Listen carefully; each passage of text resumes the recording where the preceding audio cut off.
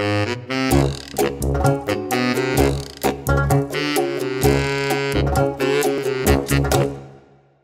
Dzień dobry Państwu. Dzisiaj z doktorą Izabelą Król będziemy opowiadać o tym, e, jak dobrze zabezpieczyć nasze pupile przed kleszczami, bo kleszcze roznoszą boreliozę, bebesziozę, mnóstwo innych strasznych dolegliwości E, i jest to bardzo ważne, ponieważ wiosna już tuż, tuż, lato, a czyli sezon niestety na pasożyty i kleszcze. Pani doktor, to zacznijmy od kleszczy. Jak e, znaleźć kleszcza, jak go wyjąć, jak ewentualnie zabezpieczyć nasze zwierzę e, przed e, kleszczami?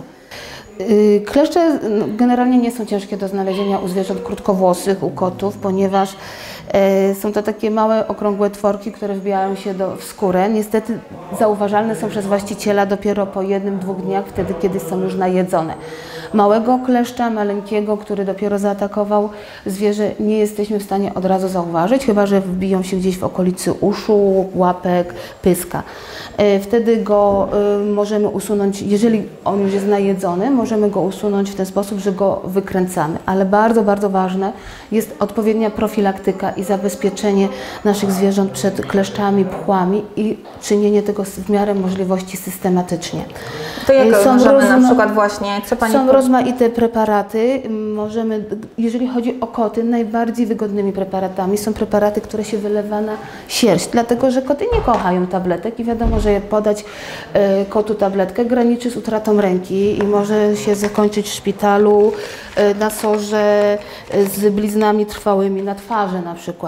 Ja najczęściej używam u swojego kota i u swoich pupili, u swoich pacjentów preparatów wylewanych, które wylewamy, są wygodne w podawaniu i bardzo często są y, skomponowane w ten sposób, że posiadają również środki, które są środkami odrobaczającymi. Czyli na za płaszczyznach, podanie, tak. tak. za jednym podanie mamy pchła, psa odchlonego, odkleszczonego, zabezpieczonego przeciwko pchłom, kleszczom, a jednocześnie odrobaczanego. Tylko jak I to właśnie zaaplikować, Pani doktor? bardzo pokaże? wygodne preparaty. W którym miejscu które to jest są, ważne, Ważne tak? jest u kota, bardzo ważne jest to Wąsuś, miejsce. Czekaj, wąsuś. O, właśnie, wązo już wie, o co go będzie czekać. Bar... Bardzo ważnym miejscem jest Nie tu wysoko. tego. Zaraz powiem dlaczego. Może jemu szybciutko nalejemy. No tak, tak. Tutaj na karku, tak? Przecież to chłopie nie boli, tak? Na karku. A dla... już skończyłam. Możesz iść się relaksować. E, Ale nie wcieramy tego. nie wcieramy tego, to się wchłonie Samo. samo.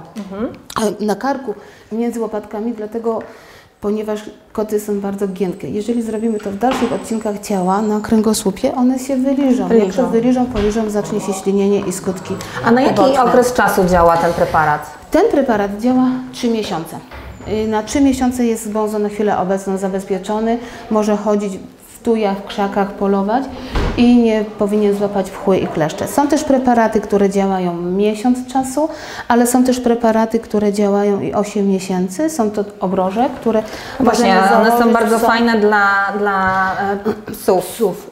Ale dla kotów też takie istnieją obroże? Dla kotów, y, Czy dla kotów nie ma obroży? Obroże istnieją, bo tą obrożę na przykład można założyć psom, psom poniżej 8 kg i kotom, ale koty są zwierzętami wychodzącymi. One polują, skaczą i taka obroża często ulega albo zgubieniu, a niestety zagraża też bezpieczeństwu kota, bo może, zahaczyć, zahaczyć. załat- zahaczyć. Dlatego jeżeli chodzi o kota wychodzącego, bezpieczne jest coś, co ma w sobie w ciele i nie stanowi to y, zagrożenia. No tutaj mamy jeszcze, to jest znany akurat preparat też do spryskiwania, ale tylko psów, pchły, kleszcze i wszoły. Co to są wszoły, Pani doktor? Pszczoły to są również takie pasożyty, które bytują szczególnie u zwierząt wiejskich, gdzieś yy, w pobliżu kur, gołębi, one bytują i na ptakach, a- są takimi małymi robaczkami, które powodują silny świąt, ale nie są takie niebezpieczne jak Rozumiem, kleszcze. ale brzmi to strasznie, wszoły. E, dobrze, czyli e, frontline jest raczej celowany do psów. Ale koty też można pryskać. Koty też można pryskać. E, tu są różne preparaty. e, Tu mamy też również tabletkę na przykład. Ta tabletka y, działa przeciwko pchłom i kleszczom, działa 3 miesiące. Są Takie ta- Foresto za to możemy kupić w, roż- w różnych rozmiarach, prawda? Dla dużych i dla małych e, psów. poniżej 8 kg i powyżej y, 8, 8 kg. One są długie i na 8 miesięcy zabezpieczają, więc zakupione na początku sezonu Teraz do października mamy, y, nie musimy pamiętać, nie musimy y, do tego wracać.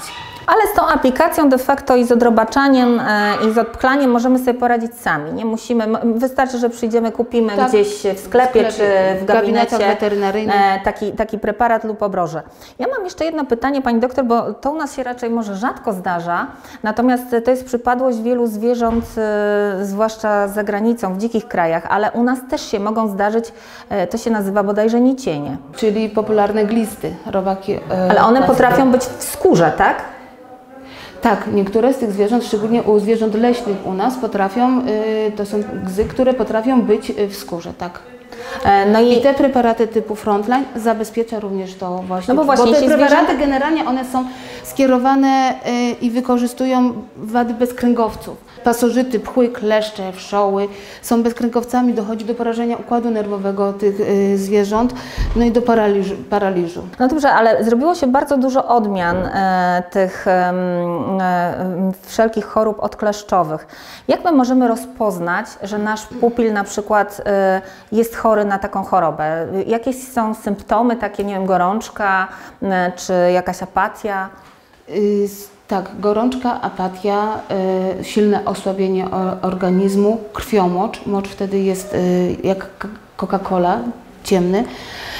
Towarzyszy tym chorobom. Ta, o tej chorobie, o której teraz mówiłam, to jest be- beszoza i ona daje objawy krótko po złapaniu kleszcza. Wtedy, kiedy kleszcz go psa ugryzie, do dwóch, trzech dni występują te objawy bardzo szybko, bardzo ostro i z silnym osłabieniem. Natomiast są jeszcze inne choroby odkleszczowe typu borelioza, anaplazmoza. Są to choroby przewlekłe i ich objawy obserwujemy po jakimś czasie dopiero. Przejawiają się bardzo często też anemią, ale czasami zwykła kulawizna może być y, symptomem, że ten pies ma anaplazmę albo boreliozę. Czyli jednak lepsza jest profilaktyka w tym przypadku Zawsze niż narażanie na, na takie choroby, e, bo e, może się zdarzyć, że taka choroba nieleczona e, Bebeszioza jest chorobą y, bardzo niebezpieczną, bardzo śmiertelną. Jest śmiertelną. Jeżeli w odpowiednim czasie nie zareagujemy, nie podamy jednego leku, to dochodzi do rozpadu krwinek. Te psy y, umierają w ciągu bardzo krótkiego czasu. Często trzeba przetaczać im krew. No więc e, dbajmy, drodzy Państwo, o nasze zwierzęta. Teraz wiosna, lada moment, więc będziemy częściej chodzić na spacery, a kleszcze są i w parkach, nie tylko w lasach, e, i na łąkach. W ogrodach. Więc, w ogrodach, więc na pewno warto nasze zwierzęta zabezpieczyć. Dziękuję Pani doktor za Dziękujemy. rozmowę i zapraszamy Państwa za tydzień. Do zobaczenia.